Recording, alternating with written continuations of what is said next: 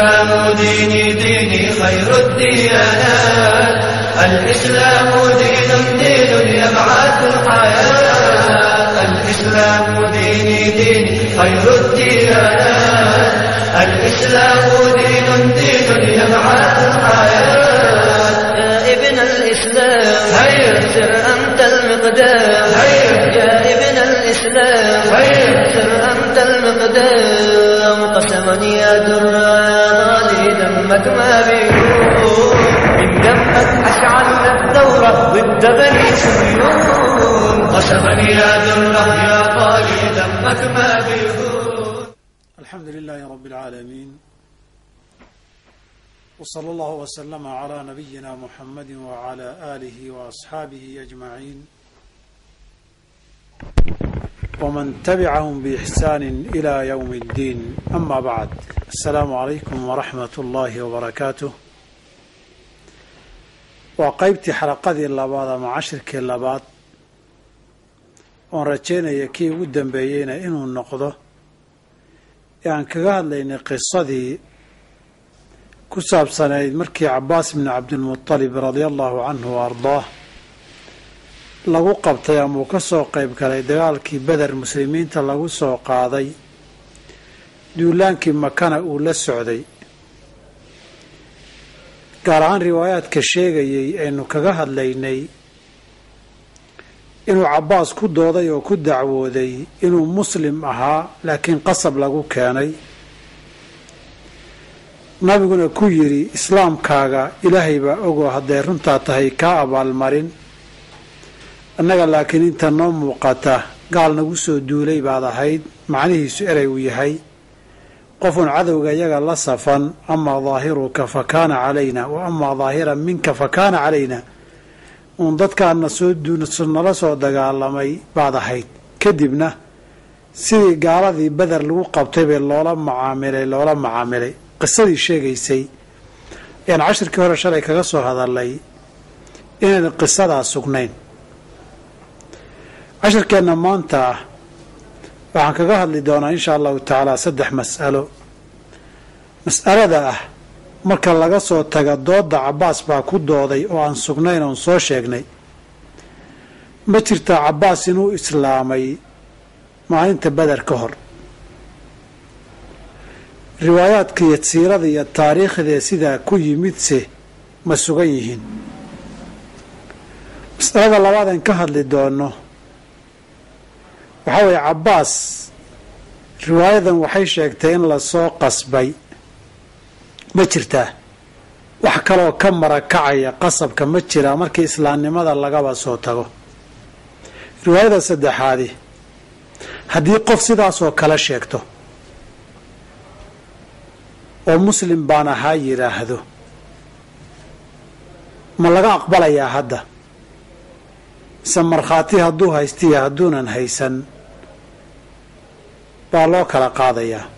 Insha allahu saddexdaa mas'alo baan ku soo bandhigayaa insha allahu tacaalaa cashirka maanta. Masalada koobaad waa masalada ku saabsan cabbaas inuu ku dooday riwaayadu say sheegayso inuu muslim ahaa maalintii beder ka hor riwaayaad kalena ku soo arooreen siyarka iyo taariikhda lagu sheegay siyaabo kala duwan. Wax tilmaamaya inuu maalintaa beder ka hor muslin ahaa. Amaba si kale ah haddii aan u dhigno beder weyba horraysaye khaswadii iyo dagaalkii fatxu maka lagu qabsanayay ee dhexda nabiga uu kula kulmay sala allahu caleyh waali wasalam kaga hor yimid ka hor inuu islaamay wax caddaynaya ma jiraa waxaan leenahay qisadaas mar kale yaa ibnu isxaaq laga wariyey raximahu llahu tacaala laakiin isagoo dariiq kale ku sheegaya oo qaab kale u sheegaya.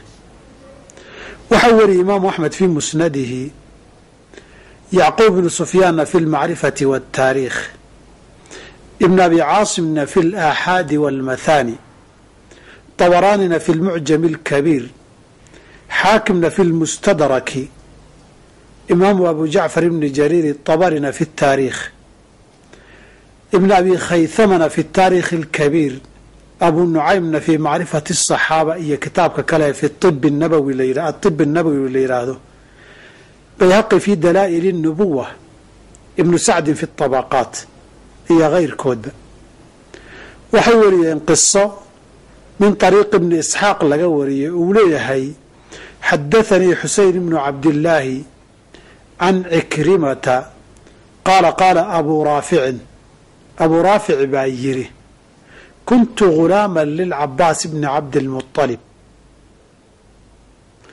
wa kaana alislaamu dakhalanaa ahla albeyt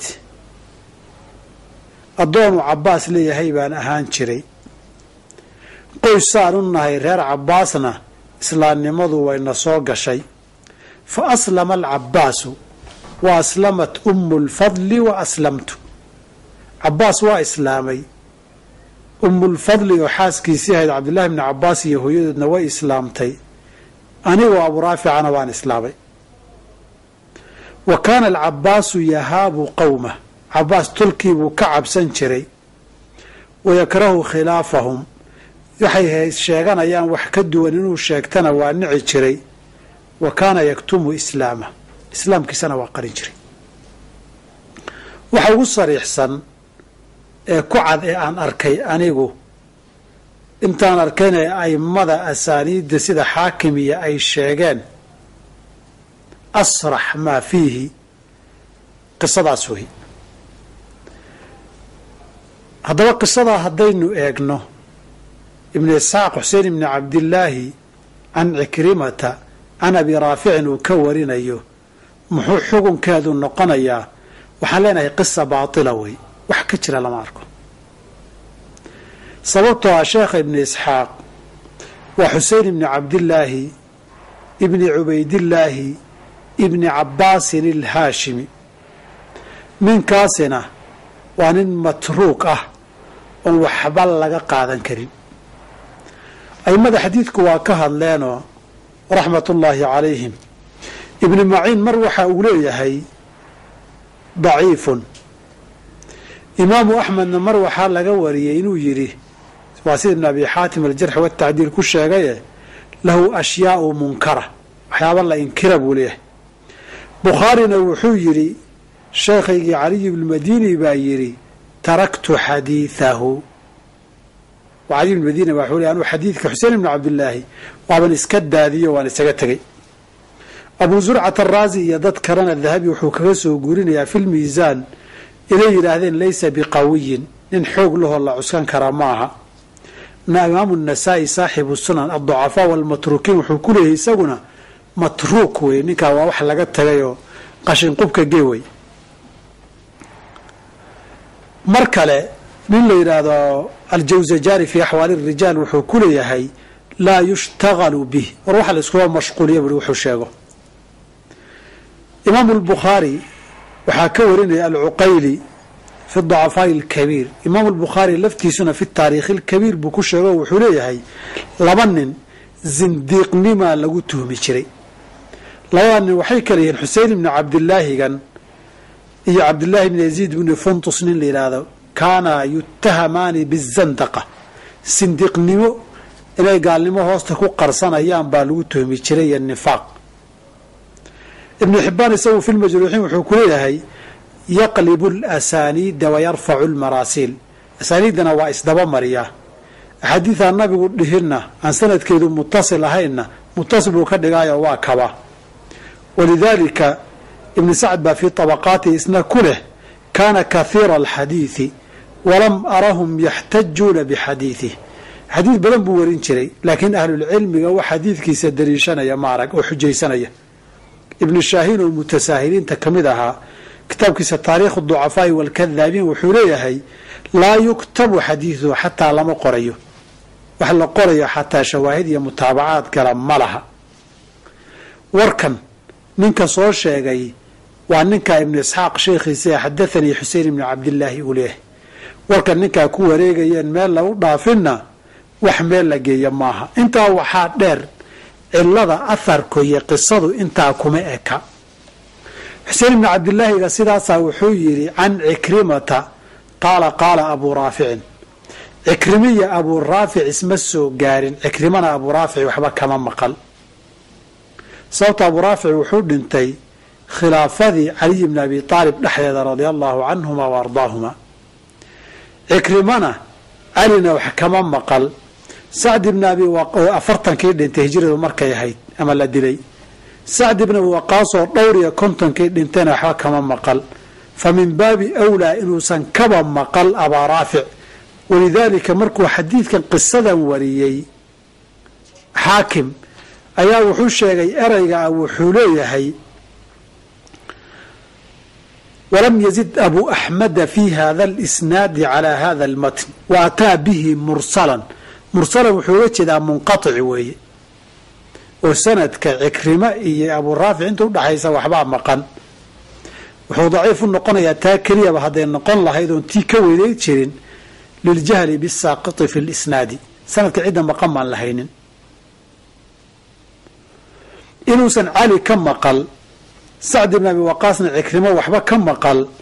Waxaa sheegay alimaamayn abu xaatim iyo abu zurca araasiyaan abu xaatim kitaabka maraasiil sabxada boqol konton iyo sideed markuu ka hadlaya wuxuu leeyahay cikrimatu mawla bni cabaasin cabdiraxmaan ibn abi xaatim baa leh samictu abi yaquulu cikrimatu lam yasmac min sacd bni abi waqaasin sacdna wuxuu geeriyooday dhowr iyo kontonkii lix iyo konton toddoba iyo konton sideed iyo konton hijradu markay ahayd abuu raaficna dhowr iyo soddon buu geeriyooday afartankii intii ka horreysay. Abu zurcana wuxuu leeyahay nafs lmawdic cikrimatu can caliyin mursalun. Cali hadduu ka wariyay waxba kama maqal. Haddaba cali oo afartankii hadduunan ka maqal sacad oo ka dhowr iyo kontonkii ahana waxba uunan ka maqal. Taa macnaheedu waxaa weeye abuu raafic oo ka sii wada horreeyeyna waxba kama maqal ayib halkaas su'aal baa iman karta. Soo ma jirta riwaayo sheegaysa can cikrimata can ibni cabbaasin can abi raaficin baa jirtaoo soo aroortay ee ka waran riwaayadaas iyada. Waxaan leenahay laba jawaabood. Jawaabta koowaad horta asaaska dacfiga qisadani baatil ay ku noqotay waa xuseen ibni cabdilaahi oo zandaqa lagu tuhmi jiray.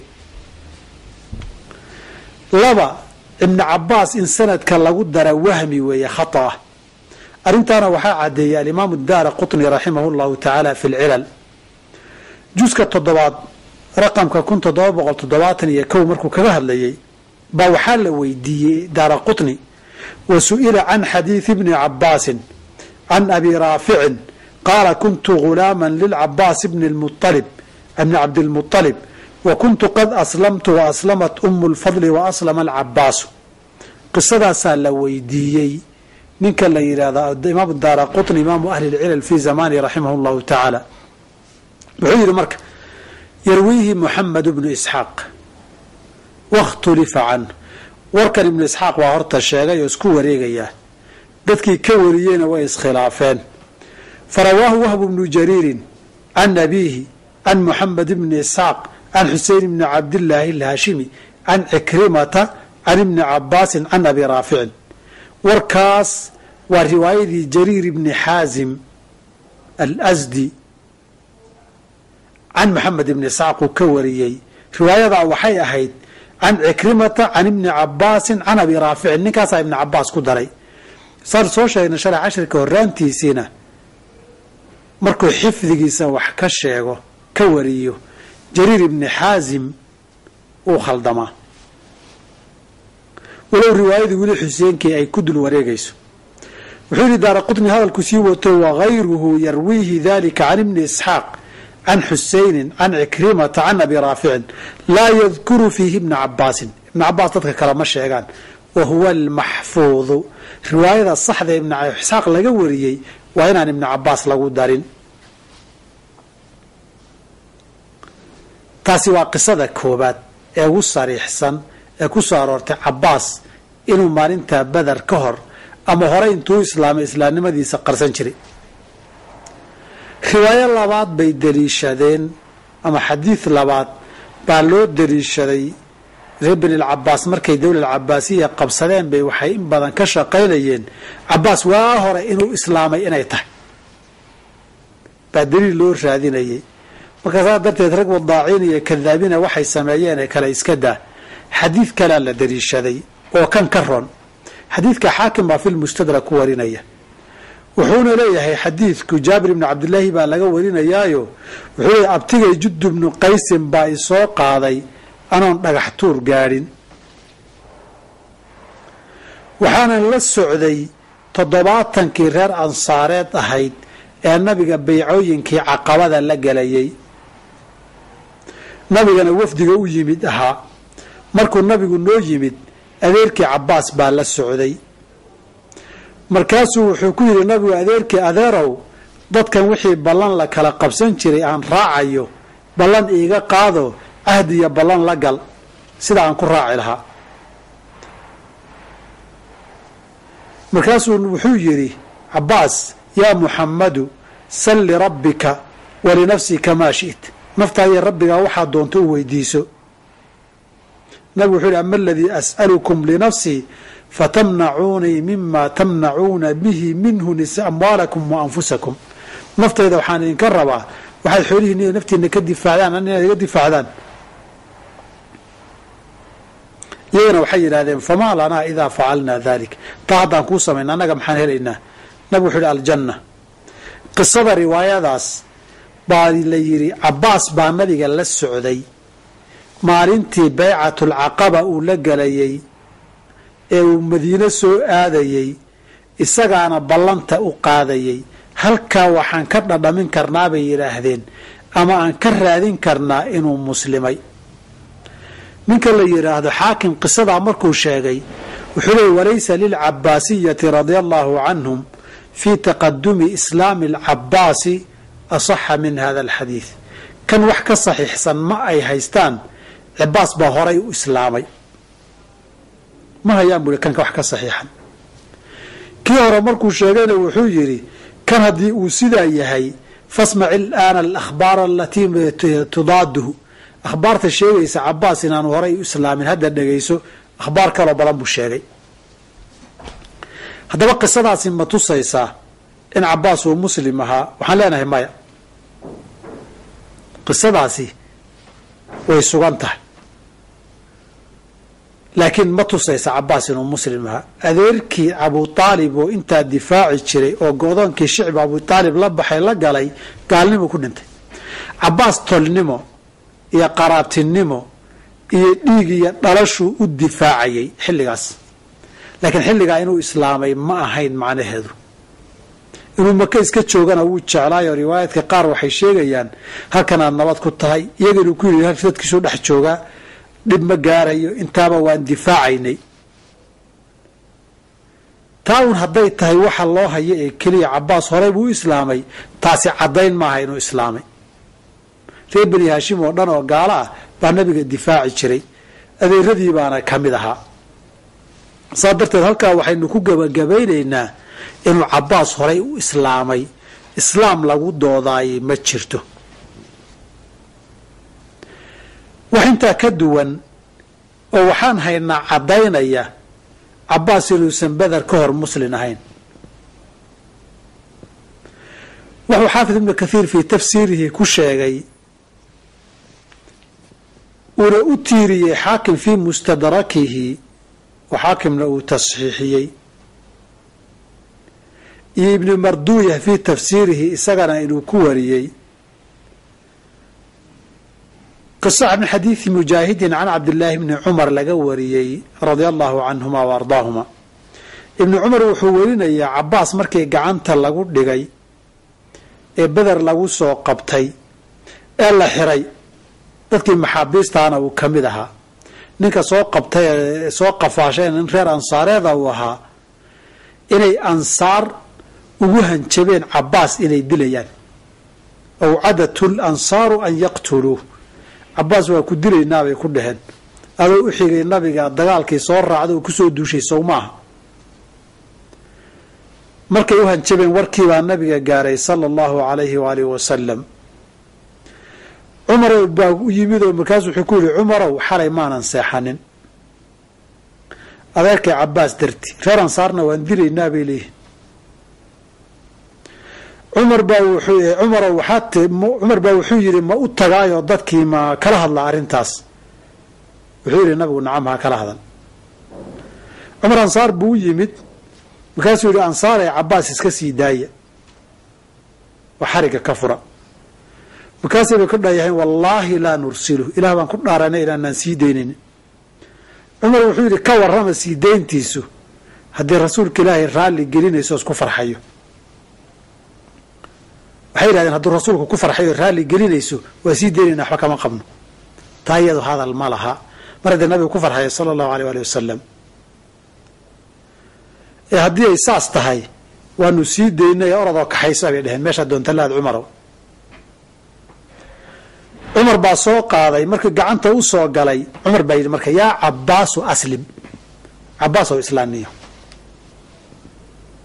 cabaasow islaam fawallaahi laan tuslima axabu ilaya min an yuslima alkhadaab islaamkaagaan ka jeclahay islaamka aabbahay khataabaha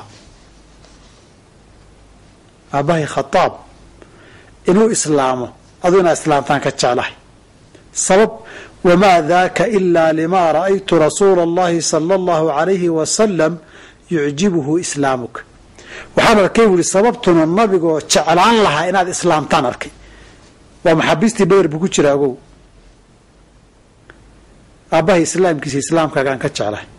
Sababtuna nabigu aada u jecel oo aada ugu farxi lahaa inaad islaamtaan arkay.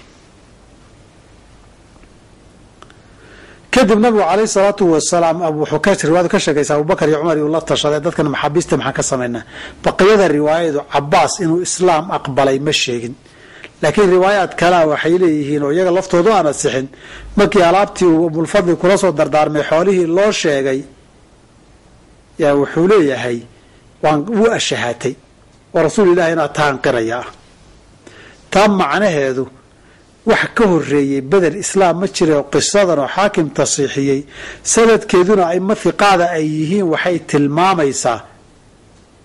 In cabaas ilaa xilligaa muslim uusan ahayn isna islaamnimo ku doodin. Nabiguna jeclaan lahaa inuu islaamo. Aslim yaa cabaasuda cumarna waad ka garan. Rasuulka ilaahi yucjibuhu islaamu kada waa ka garan. Riwaayada cabaas wuxuu dhihi walaha muslim baan ahaa ee maxaad sheegaysaa? Inuu islaameyna riwaayada asaxday laguma sheegin.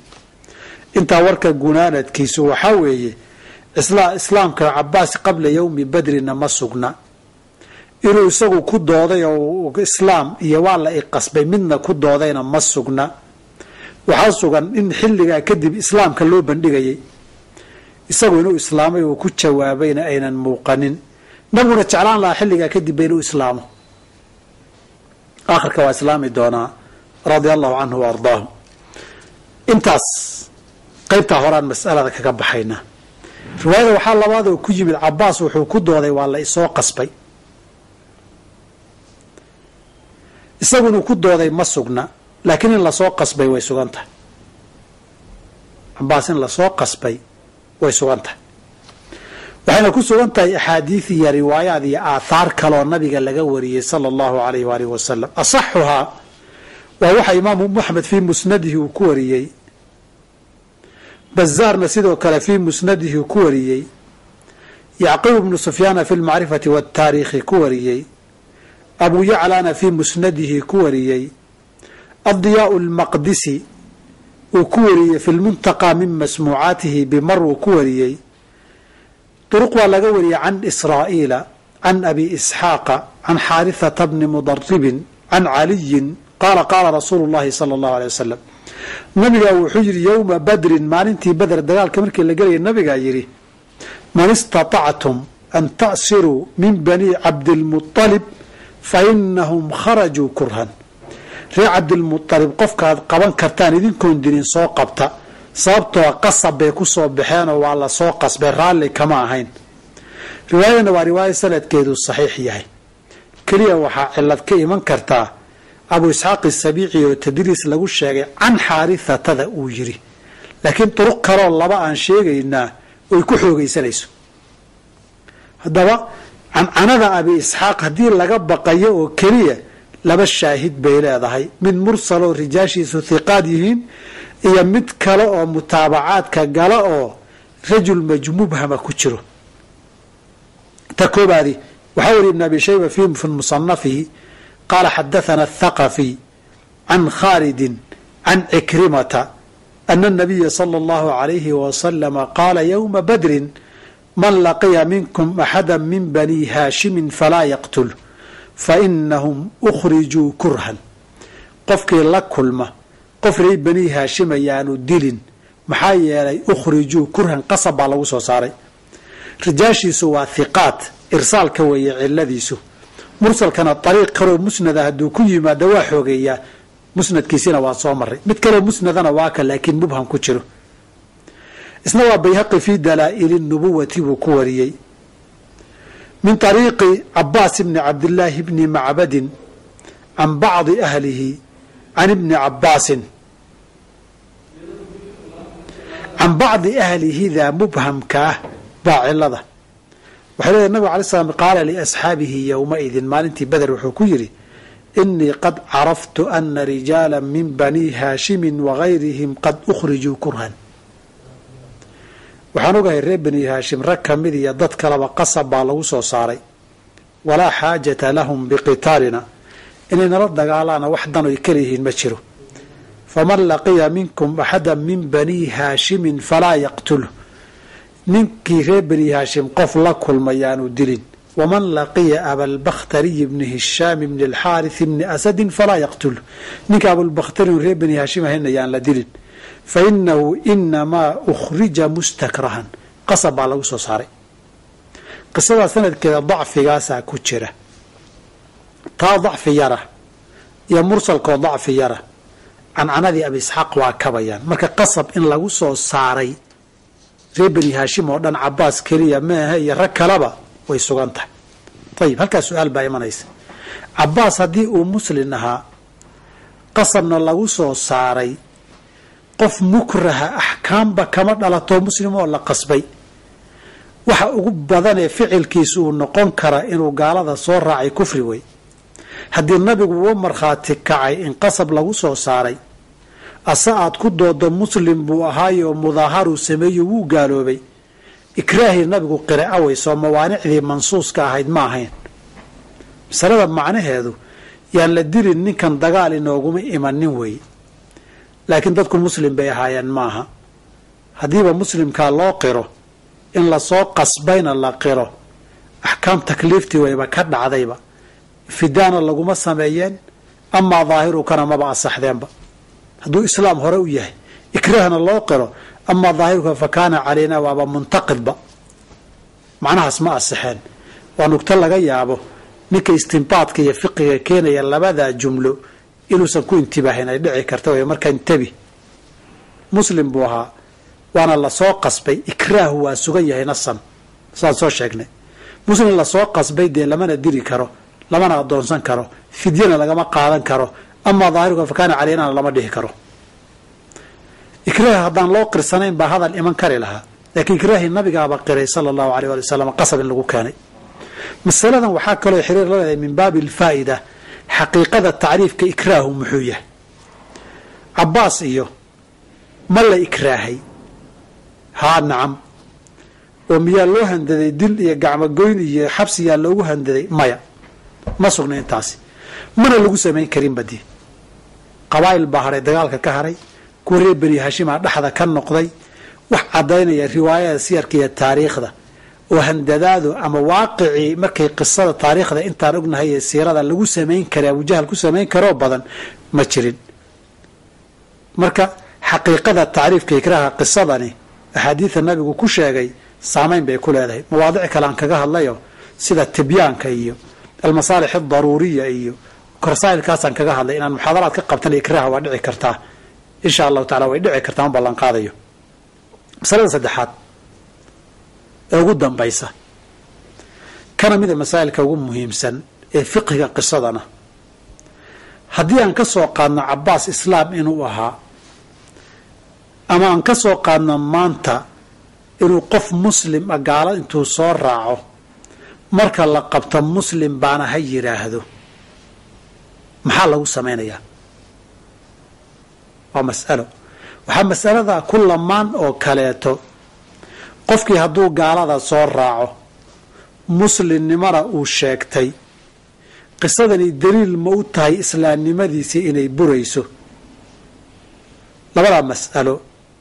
Oo hadda muwaalaadka iyo mudaaharada iyo aada loogu daliishadiya waa gaaloobayaa bilaa shartin walaa qaydin qisada loo daliishado baan tilmaamaya qisadu hadday sugnaan lahayd waxay tilmaami lahayd waxay tilmaamaysaa inaan islaamnimadu buraynin marka ay leedahay qisadu intii kuntu musliman uu ku dooday ee nabigaa yidhi ay leedahay allaahu aclamu biislaamika in kunta saadiqan faallaahu yajziika hadday runtaa tahay allah ka abaalmarin. Oo hadduu gaaloobay oo naqdiba ku dhacay maxaa laga abaalmarin? Mas'alada qisada daahirkeedu waxaa weeye caddaynaya markhaati ma haysatid. Waalaslu baqaa'u maa kaana calaa maa kaana weeye haddii aan kugu qaldannood muslim ahayd ood si qalada meesha ku timid adiga ilaah bay idiin taallaayo allah kaa abaalmarin islaamkaaga waa buray maaha. Halkaasay culimmadu waxay qaar ka fahmeen haddii uu cabbaas caddayn haysan lahaa ama markhaati haysan lahaa inaan la maxbuus noqdeen inaan fidye laga qaadeen inaan si gaalla loola dhaqmeen.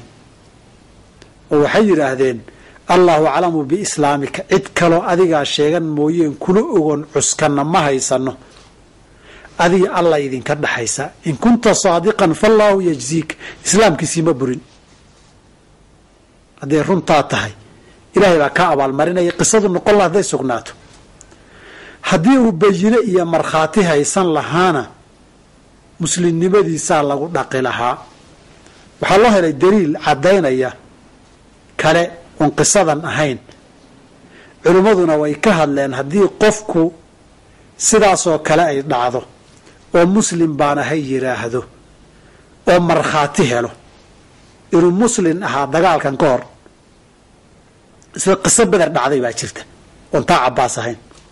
Waxaa wariyay imaamu axmed fii musnadihi imaamu tirmidi iyo fii sunanihi sidoo kale abu yacla fii musnadihi ibnu abi shaybata fii musanafihi abu cubaydin fi kitaabi اlamwaali ibnu abi khayhamata fi taarikhi اlkabiiri ibnu abi xaatimin tafsiirkiisa ku wariyey sidoo kale ibnu jariir طabari fi tafsiirihi طabaraani fi lmucjam اlkabiir ibn اlmundir fi اlawsط abu nucaymin fi اlxilya xaakimu fi lmustadraki bayhaqiyu fi اdalaa'ili wالsunan iyo shucab اliimaan intaba min طuruqin can camr bni murata can abi cubaydata bni cabdillaahi bni mascuudin can cabdillahi bni mascuudin radia allahu canhu ardaah.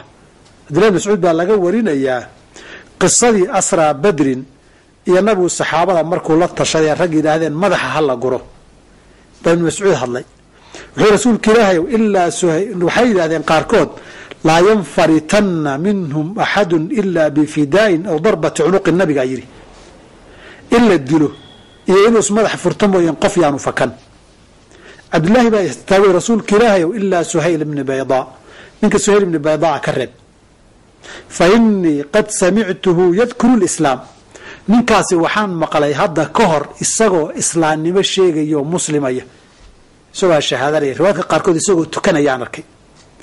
Hadda ka hor baan horay u soo arkay dagaalka beder ka hor ninkaa isagoo muslina marka ninkaa ha laga soo reebo ninka isagu ma soo dacwoon muslim baan ahaa ma dhihin. Waa laysoo qasbayna ma dhihin. Reer makuu la socday dagaalkaana lagu qabtay. Ibnu mascuud baa u dooday oo yidhi ninkaa islaamnimaan horay u arkay. Saasay riwaayada iyo qisadu leedahay. Nabigu waa aamusay buu leeyahay riwaayadu. Ibnu mascuud baa laga warinaya inuu yidhi marka famaa ra'aytunii fii yowmin akhwafa an taqaca calaya xijaarat min asamaa'i fi dalika alyowm maalintaa maalin aan uga cabsi badnaa samada dhagax cadaab inuu iga soo dega ma lahayn. Aamuska nabigu shib yidhi ilan gebi ka dhacay baan u arkayay wuxuu leeyay kadib nabiga ilaa uu ka yidhaahdo ilaa suhayl ibni baydaa suhayl ibni baydaa ha laga reebo. Lana dili maayo fidaana laga qaadi maayo. Xadiidka imaamu tirmidi baa wariyey hal cilad buu leeyahay? Abuu cubayda aabbihii wax kama maqal. Sanadkuna waa munqaticoo saaqidka u dhaxeeya waa majhuul. Laakiin sidaa iyadoo oy culimmadu ku og yihiin tii hore ee cabaas ee wujuuhda idiraabka ibn isxaaq inay ka xoog badan tahay tanina shaki kuma jiro. Culimmadana qaar muxadisiinta waaweyna waxay qabaan abuu cubayda iyadoo la og yahay aabbihii inuusan ka maqal haddana riwaayaadka uu ka wariyay inay saxiix yihiin. Waxaa ka mid ah tirmidi wuxuu leey dhegeyso xadiidun xasanun wa abuu cubaydata lam yasmac min abiih waa xadiid xasana.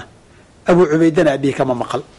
Waa qirayaa inqiaaca waana taxsiininaya waxaa la mid a xaakim baa wuxuu leeyahay saxiixu lisnaadi walam yukharijaahu sanadkiisu waa saxiix bukhaari muslim ma warinin. Dahabi waa waafaqayo wuxuu leeyahay saxiixun wey ninka la yidhahda haythami isagu wuxuu leeyahay abu cubayda abihi kama maqan laakiin rijaashiisa kale hiqaad wey ibn rajab alxambali raximah اllahu tacaala fii sharxi cilal tirmidiy juska koobaad shan boqol afartan iyo afar markuu ka hadlayay axaadiida cilalka leh. Wuxuu sheegay aimada xadiidka qaar waaweyn oo kamida abuu cubayda can abihi waa saxiix musnad ah ka maqal la'aantuna dhibi maysa inay yidhahdeen waxaa ka mid a caliy bn lmadini imaamu ahli lcilal iyo yacquub bni sufyaan. Caliy bn lmadini wuxuu ka wariyey inuu yidhi fii xadiidin yarwiihi abu cubaydata bni cabdillaahi bni mascuudin can abiihi wuxuu yidhi huwa munqaطicun wa huwa xadiiثun habtun waa xadiid sanadkiisu wax ka maqan yahay waase sugan yahay yacquub ibnu shaybana wuxuu ka wariyey inuu yidhi inama اstajaaza asxaabuna an yudkhiluu xadiiثa abi cubaydata can abiihi fi lmusnad yani fi lxadiiثi اlmutaصil limacrifati abi cubaydata bixadiiثi abiih wa صixatiha waanahu lam yaأti fiiha bixadiiثi munkar yacquub ibnu shayb wuxuu le asxaabta iyo aimada iyadii xadiidka ahaa axaadiida musnadada ee mutasilka een inqiaac iyo wax maqan ku jirin bay ku dareen xadiidka abi cubayda can abihi sababtoo ah abu xubayda aabihii axaadiidtiisa wuu yaqiinay inta sugan iyo inta kalena waa kala ogaa wax munkara oo la dhaliilo oo khalad buu la yimid la yidhaahdana laguma arag. Qoladaa tasiixisa iyagu waaba qiso sugan. Waxayna daliil u tahay ninkii dagaalka soo raacay islaamnimadiisu baaqi bay ahayd. Mujarad inuu soo raacay diinta ugama bixin. Bayino markhaati markii loo helay isagoon ku doodinna waa la aqbalay. Xukmulmuslimna waa la siiyey. Bay tusaysaa qolada tiri ma sugnana. Waxay yidhaahdeen shaahid baan u haynaa xukumka kale oo asaxay oo muslim warinayo macnaha inuu ku tusayana culimo badan baa u tabwiibiyey intaan shaahidkiisa la gaarin. Almajd ibnu taymiya fi lmuntaqa muntaqa akhbaarka uu shawkanina lawtaarka ku sharxay maatinka majdiga ah iyo shawkaniba waxay ka yidhahdeen xadiidkan fiiri muntaqaha wuxuu yihi baabu lasiiri yaddaci lislaama qabla alasri walahu shaahidun. Ninkii intaan la qabanin muslim baan ahaa yidhaahda markhaatina hela. Nafs tabiib waxaa ku raacay ninka la yidhaahdo alxasan ibni axmed asancaani kitaabkiisa fatxu lghafaar aljaamici liaxkaami sunnati nabiyina almukhtaar. Nafs baabkaasoo kale u sameeyey. Shawkani fi nil baabkaa juska sideedaad naylka markuu sharxay wuxuu leeyahay walxadiidu yadulu calaa maa tarjama bihi lmusanifu lbaaba musanifku baabkan uu sameeyey macnihiisuu xadiidku kutusaya min anahu yajuuzu faku lasiiri min alasri bigayri fidaa'in ida daca alislaama qabla alasri huma shahida bihi bidalika shaahidun. Hadii uu ku dooda maxbuusku intaan la soo qaban inuu muslim ahaa maadaama uu muslim ahaa saa darteed markhaatina u haysto inaan madax furasho laga qaadayn oo la sii deynayo xukun muslim la siinayo. Shawkani wuxuu yihi wakadalika idaa lam taqac minhu dacwa wa shahida lahu shaahidun annahu kaana qad aslam. Xataa hadduusan ku doodin oo markhaati la helay inuu muslim ahaa qabla alasri intaan la qafaalan kamaa waqaca fi xadiidi lbaab xataa hadduusan sheeganin oo ciduu isaga markhaati kacda la helay inuu intaan la soo qaban muslim ahaa waa la sii daynaya. Sida xadiidku tilmaamay. Waayo suhayl ma sheeganin islaam inuu ahaa kadibna ibnu mascuud uu markhaati kacay ma ahayn. Bal meesha waxaa yaalla waa ibnu mascuud oo markhaati kacdo nabiguna ka qabalay buu yihi sal alay slam shaahidka macnaha bayinada haddii la helo in la aqbalayana. Waa shahiid imaamu muslim fii saxiixi uu ku wariyay min xadiidi cimraan ibni xusein kun afartan iyo kow xadiidka raqamkiisu yahay wey. Wuxuu leeyahay thaqiif nimanka la yidhaahdo reer bani caqiil bay xulafa iyo isbahaysi ahaan jireen reer thaqiif baa laba nin oo muslimiinta ay afduubteen. Saxaabada nabiguna laba nin nin reer bani caqiilay soo afduubeen oy xirxireenoo meel kulul bayna fadhiisiiyeen nabigaa soo maray. Ninkiibaa u dhawaaqay wuxuu yihi yaa muxamadu yaa muxamadu fiima ukhidtu maxaa la iisoo qabsaday? Buu yihi ninkii reer bani caqiil nabigu wuxuu yihi bijariirati xulafaa'ikum thaqiif. Qolyahad isbahaysiga ahaydeena dagaalka heshiiska dagaal idinka dhexeyn u safataan dembigay galeen ay dad naga qabsadeen baa lagu soo qabtay. Nabiguna waa isaga tegey. Uu dhawaaqay yaa muxamadu yaa muxamadu yidhi. Nabigu waa ku soo laabto waa u naxay. Wuxuu yidhi maxaad rabtaa? Wuxuu yidhi inii muslimun. Nigo muslim baan ahaa buu yidhi nabigu wuxuu yidhi low qultahaa wa anta tamliku amrak aflaxta kula alfalaax intaan lagu soo qaban haddaad dhihi lahayd muslim noqon lahayd waad liibaani lahayd. Ninkan wuxuu yidhi muslim baan ahay inuu ku fakada inuu rabana waa ka muuqatay bay leeyihiin. Wuxuu nabigu yihi intaan lagu soo qaban haddaad muslim noqon lahayd liibaan dhammaystirin lagu taaban baad liibaani lahayd. Kadib labadii nin baa lagu soo furtay ninkii xadiidkaa ma laga fahmayaa in markhaati hadduu haysan lahaa ay caddaan lahayd inuusan intaan la soo qabanin muslimay in la aqbali lahaa. Imaamu lbagawi fii sharxi sunna wuxuu ku leeyahay wa fii qowlihi low qulta wa anta tamliku amraka la aflaxta daliilu calaa ana alkaafira idaa waqaca fi lasri faddacaa anahu kaana qad aslama qablahu laa yuqbalu qowluhu ila bibayinatin taquumu calayh. Wuxuu daliil u yahay gaal haddii la soo qabto. Oo uu ku dooda muslim baan ahaa intaan la isoo qaban inaan laga aqbalaynin hadduusan markhaati haysanin. Oo ninkan wuxuu ka dhigayaa markhaati la'aan buu nabigu u aqbali waayay muslim baan ahaa lagama aqbalin waayo caddayn markhaati ma haysto. Sidoo kale caliy bnu sultaan alqaari fii sharxi lmushkaat wuxuu ku leeyahay qaala bnu lmalik fiihi dalaalat calaa ana alkaafira idaa waqaca fi lasri faddacaa anahu kaana qad aslama qablahu lam yuqbal minhu ila bibayina markhaatilaan laga aqbali maayo waxay ku fasirayaan nabigu wuxuuga aqbali waaye markhaati ma haysan aطibi fi sharxi mushkaat isna wuxuu leeyay fiihi daliilu calى ana alkaafira ida waqaca fi اlasri faddacaa anahu kana qad aslama laa yuqbalu qowluhu ila bibayinatin taquumu markhaati inuu hela mooye la aqbali maayo hadalka tiibi baa si gaara waxaa u sii sharxay. Addictor ashariif xaatim alcawni kitaabkiisa alwalaau walbaraau bayna alguluwi waljafa lix. Waxa uu leeyahay xadiidku faa'iidadan tiibi iyo aimadu ay sheegayaan wejku u faa'iideeyey waxaa weeye. Annahu min almacluumi biana alkaafira adimiya aw ilmucaahida laa yu'sar. Gaal dimi ah ama mucaahid heshiis naga dhexeeya lama soo qabto marka horeba wa inamaa yu'saru lmuxaarib ninka la soo qabtay waa kaafir muxaariba saas darteed ninkan kaafir muxaarib u ahaa. Wa hada qad usir ninkana waa la soo qabtay. Fadalla calaa anahu kana muxaariban gaal muxaarib u ahaa. Nabigu wuxuu ku leeyahay ninkaa daahirkiisu kaafirka muxaaribka ahaa buu nabigu ku leeyahay low qultahaa wa anta tamliku amraka aflaxta kula alfalax. Haddaad dhihi lahayd intaan gacan lagugu dhigin waad liibaani lahayd ay low aslamta qabla alasri haddaad islaami lahayd intaan lagu qaban. Fa imaa an yuclama islaamuka falaa tu'saru aslan. In islaamnimadaada la ogyahon laguba soo qaban.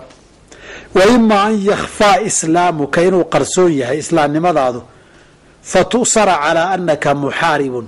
Nin dagaal lagula jiray sidii laguu soo qabto. Fain qaamat ilbayinatu biislaamika qabla alasr intaan lagu soo qaban muslim inaad ahayd hadday caddaato kaana dalika sababa najaatika fi dunya wa fawzaka fi laakhira adduunkana xabsiga waad ka badbaadi aakhirana waad liibaani hadday soo caddaato markhaati la helo. Intaasi ka xadiid ahaan bay u sharxayeen. Masalada ka fiqhi ahaan culimo badan baa sidaa tiri. Qayb baan ka soo qaadanaynaa. Xadiidkana deliishanaya.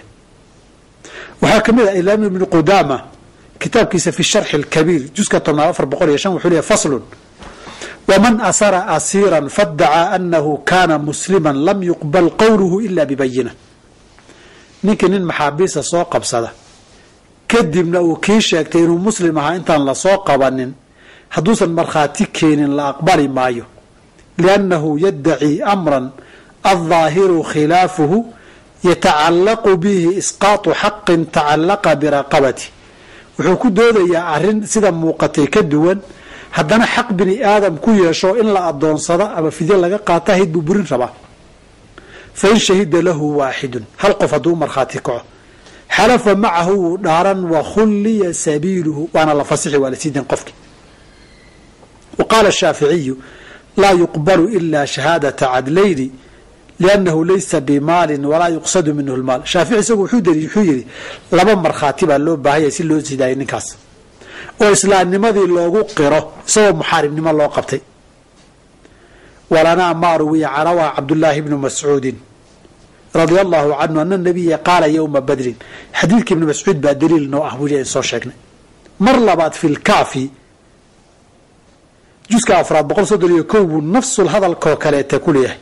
Oo wuxuu leey fain shahida lahu muslimun waxalafa macahu habata dalika lahu ay u sugnaan bna mascuudin shahida lisuhayl bni bayda anahu samicahu yadkuru lislaam faqbila nabiyu shahaadatahu wa aطlaqahu min alasri waa ka aqbalay waana sii daaya waa dariishanaya sidoo kale waxaa dariishanaya ibnu muflix alxambali kitaabkiisa annukat walfawaa'id asaniya calaa mushkil lmuxarar juska labaad saddex boqol labaatan iyo kow isna sidaasoo kaleeto u dariishanayaa qisada markuu sheegayna wuxuu leeyahay wastadalla alqaadi wuxuu leeyahay marka isagu waidaa qaala qad aslamtu. Wa shahida rajulu min alasra jaazat shahaadatuhu maca yamiini lmuddaci wuu dhaaranayaa markhaatigaana waa la aqbalayaa wakadalika in shahidat lahu imra'atu wacabdu muslimun. Adoon muslim iyo xataa qof dumara. Hadday islaamnimo maxbuusnimada ka hor uga markhaati kacan waa la sii deynaya muslim baa laga dhigaya. Axkaamulmuslim baa la siinaya.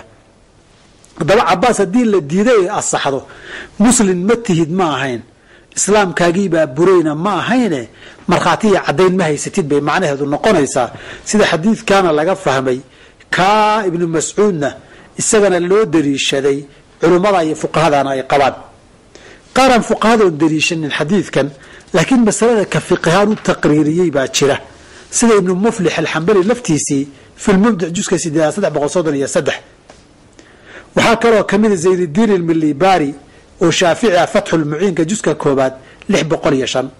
Waxaa kaloo ka mid abubakr dimyaati shaafici ah icaanat taalibiin calaa xalli alfaadi fatxi lmuciin fatxulmuciinkaasu sharxay juska afraad saddex boqol laba boqol soddon iyo laba.